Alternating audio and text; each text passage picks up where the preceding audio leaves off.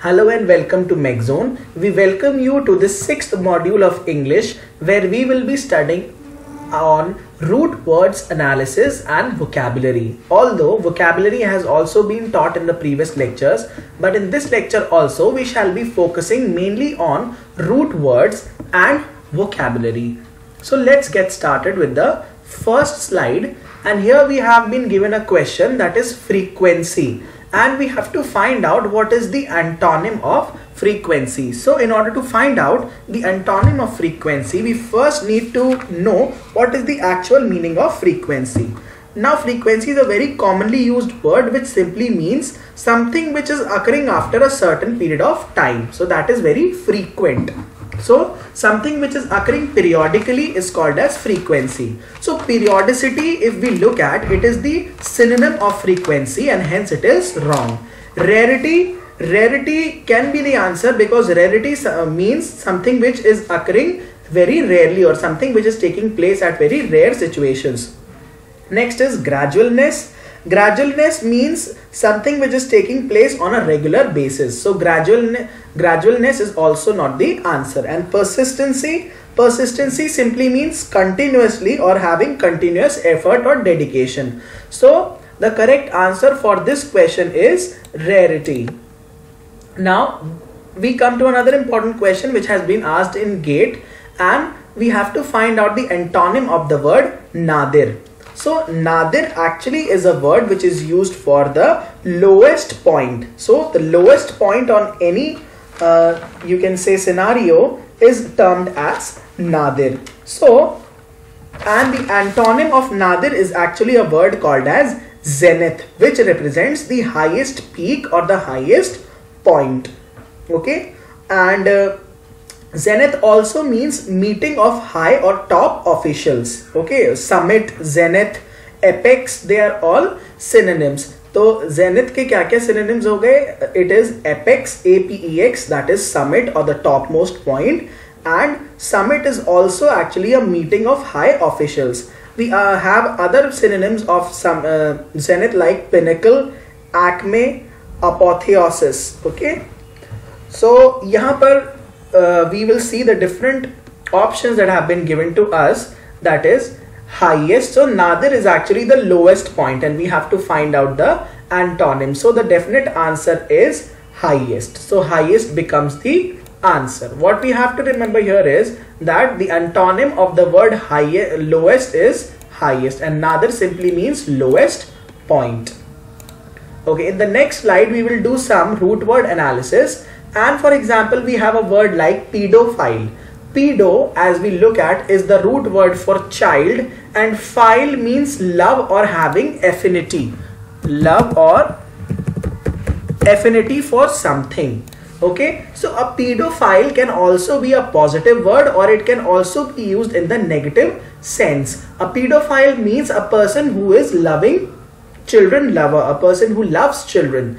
But in the negative sense, it can be used for sexually abusing children. For example, we had Michael Jackson because he was accused of being a pedophile. He sexually abused small children. So that can be the word pedophile. So we have to remember the underlined words are actually the root words and pedo means child and phile means love or affinity. Next we come to bibliophile. The word biblio is the root word for books and phile means love or affinity. So someone who loves books is called as a bibliophile. Next we come to necrophile. Necro is actually the root word for the dead and phile means love. So it is a very unusual type of word. Necrophile, how can someone love dead bodies? But actually Charles Darwin was a necrophile. We have all heard about Charles Darwin. We have read some novels also. So Charles Darwin was a necrophile. That means he was much attracted. He, was, he had affinity or love towards those dead bodies. Okay, next we have some more words. We have omnivorous and the word omni is the root word here and omni means all and vor means eating or has the tendency to eat. So all eating means someone or something that can eat everything. So those are called as omnivores So omnivores are actually the species which consume plants as well as animals flesh eating as well as uh, plant eating animals for example bear and frog so we have these type of species which are consuming both flesh as well as plants Next we come to the word omniscient. Omni means all and sci is the root word for science. So the meaning of omniscient is one who knows about everything. So from these lectures we are also learning about one word substitution. So if entire sentence is given and we have to replace that entire sentence by one word. So the answer is omniscient. Next we come to the word omnipotent Omni means all and potent means potential or power. So one who possesses all types of power for example, this is generally used for the word God. The next word is omnipresent. Omni means all and present means to have a presence. So one who is present everywhere or one who is present at all the places. So this is also actually used for God. So we see that the word omni can be used in so many places. And in uh, if i tell you when i was giving my interview for one of the companies they asked me how many words can you, you make from the word omni? So there i made i think at least 8 to 10 words were there that i made and i have only mentioned out of those 8 words i have told you only 4 so because i was quite good at the vocabulary section so i could make out all those words.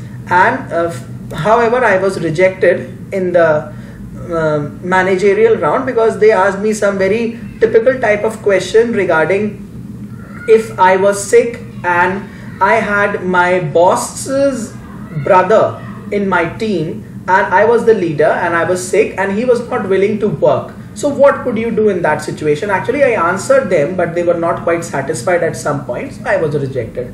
However, I don't regret of being rejection, of being rejected. That is a different issue.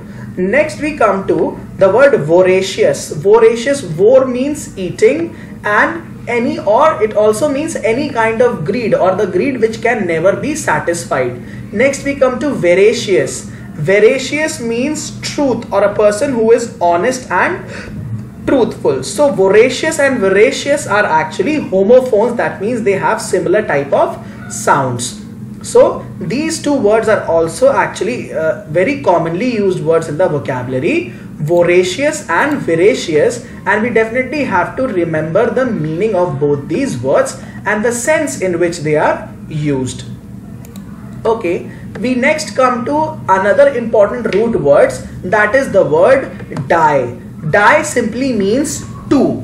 Dilemma Dilemma simply means we are confused between the two options. Dilemma simply means a state of confusion, a state of chaos, a state of pandemonium. That is when we are confused, when we are not able to decide, when we are not able to differentiate between the two options that which option is to be chosen and which is to be dropped. So dilemma simply means when we are not able to decide between the two given choices. The next word is diarchy and diarchy means two when the rule is being divided or having some diversion between the two parties. So we should also keep in mind about the pronunciation of the different words that we are using because pronunciation also has a very deep impact on the listener as well as the speaker can also leave a very strong impact on its listeners. Next we come to patriarchy and the word pater is simply related to male the word pater eh, here means male dominated. Patriarchy means male dominance. And this is a very but obvious problem in India. The next is matriarchy. Matriarchy, matter simply means female. However, female dominated societies uh, do not exist in reality, but they exist only on papers and only in stories. And next we come to the word klepto klepto simply means one who is one who is having the urge to steal one who steals or is undergoing the act of stealing so klepto means stealing the last word for this vocabulary section is acrobat and the root word here is acro which means related to height or when it is at a very large distance from the ground so that is the word acro So with this we come to the end of this lecture. We hope that you people are liking our lectures. Keep giving us your valuable feedbacks so that we may have a continuous improvement of our channel and discuss your problems with us on our channel or on our Facebook page and you can download all the study material from our blog page the descriptions for which have been given in the description section of every video. So thank you so much